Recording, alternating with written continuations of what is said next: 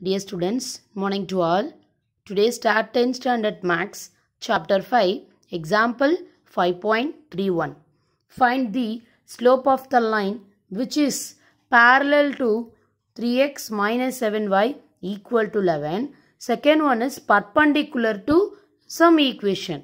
So parallel இருந்தால் slope எவ்வளோ பர்பண்டிகுலராக இருந்தால் ஸ்லோப் என்னன்னு கேட்குறாங்க ரொம்ப நமக்கு தெரிஞ்ச ஒரு ஃபெமிலியரான விஷயம் பேரலல் அப்படின்னா ஸ்லோப்ஸ் ஈக்குவலாக இருக்கும்.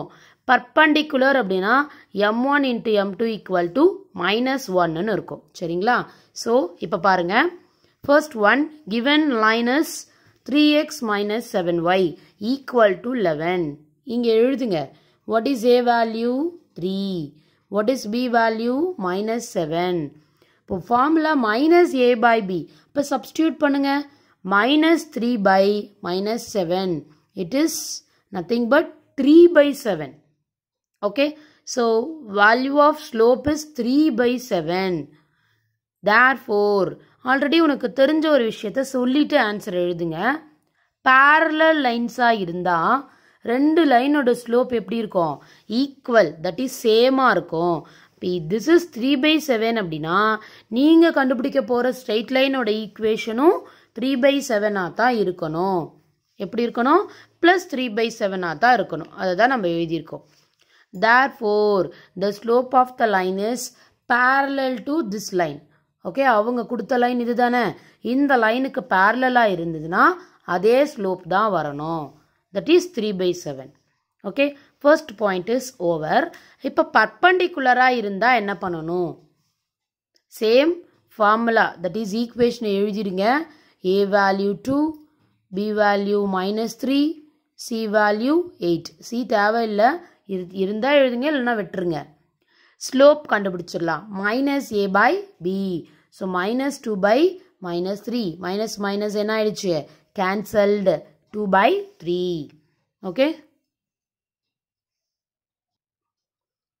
so parallel அப்படின்றதுக்கு ஒரு கண்டிஷன் சொன்ன மாதிரி பர்பண்டிகுலருக்கும் சொல்லிடலாம். The two lines are perpendicular then M one into M two equal to minus one so ரெண்டு ஸ்லோப்பை மல்டிப்ளை பண்ணால் மைனஸ் ஒன்னுக்கு ஈக்குவல் ஆகும். ஓகேங்களா அவ்வளோதான் இப்போ ஆன்சர் பண்ண போகிறோம் பாருங்கள் therefore the slope of required line is perpendicular to this line ஓகேவா ஸோ பர்பண்டிகுலராக இருக்குது அப்படின்னா ஒரு ஸ்லோப் தெரிஞ்சிடுச்சு. இன்னொரு ஸ்லோப் ஃபைண்ட் அவுட் பண்ணணும் அப்படின்னா நான் சைடில் ஒர்க் அவுட் பண்ணுறேன் கவனிங்க. எம் ஒன் தெரியும் அப்படின்னா M two equal to minus one by M one கரெக்டா இல்லையா? இப்படியே சொல்லலாம். M one equal to minus one by M two இப்படியும் சொல்லலாம்.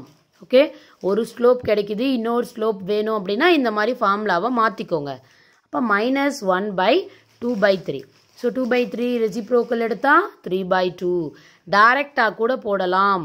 ஒரு வேல்யூ தெரிஞ்சிடுச்சுன்னா இன்னொரு வேல்யூவை ரெசிப்ரோக்கல் எடுங்க. ப்ளஸ்ஸாக இருந்தால் மைனஸாக மாற்றிக்கோ அவ்வளோதான்ப்பா ஓகேங்களா? ஸோ பேரலல்னா ப்ராப்ளம் இல்லை. அப்படியே எடுத்து எழுதிக்கோங்க. பர்பண்டிகுலராக இருந்தால் மட்டும் இந்த ஃபார்முலாவை யூஸ் பண்ணி போடுங்க. Okay thank you students